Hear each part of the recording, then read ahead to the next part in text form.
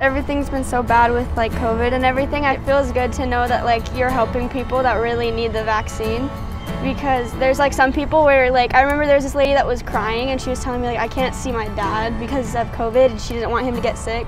So she like was crying, was like, I finally got the vaccine, I can go see my dad after like a year. And so it feels good to like help those kind of people that are that need this vaccine to see family and friends. I'm very happy that I was able to help volunteer today and let's vaccinate the 208.